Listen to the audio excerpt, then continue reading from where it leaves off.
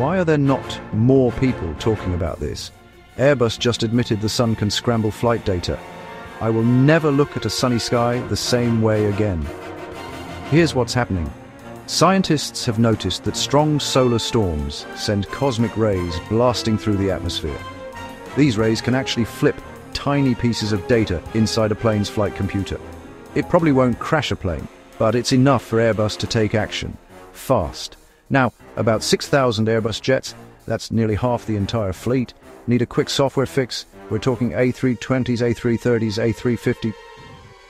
It's a simple update, but planes have to be taken offline to get it done, so expect some delays and cancellations while airlines like EasyJet and Delta get their fleets patched up. Not because the planes are unsafe, but because Airbus wants to stay ahead of the next solar storm.